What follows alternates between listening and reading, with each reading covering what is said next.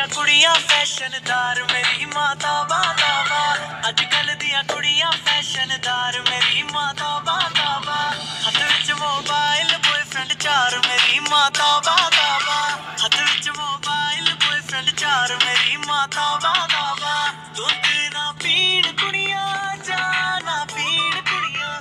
ਦੁੱਧ ਨਾ ਪੀਣ ਕੁੜੀਆਂ ਜਾਣਾ ਪੀਣ ਕੁੜੀਆਂ। ਨਿਤ ਪੈਕ ਲਗਾਉਂਦੀ